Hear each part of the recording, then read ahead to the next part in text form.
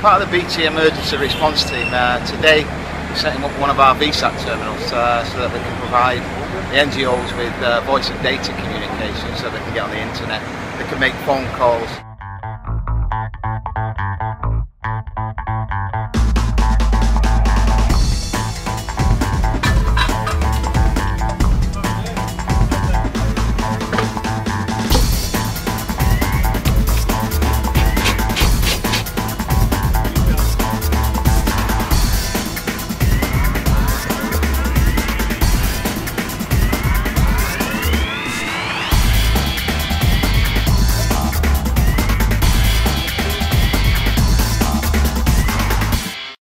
Team uh, has come across from the UK, uh, part of British Telecom, um, and as you can see behind me here, we're putting our 2.8 metre VSAT terminal up, which gives us that office in a box capability.